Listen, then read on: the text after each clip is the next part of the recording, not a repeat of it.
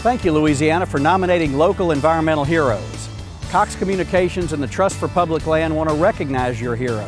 Voting is now open to select Louisiana's Cox Conserves Hero. Take a moment to learn more about projects that are improving our local shared spaces at coxconservesheroes.com. And don't forget to vote. $15,000 will be donated to local environmental nonprofits. coxconservesheroes.com.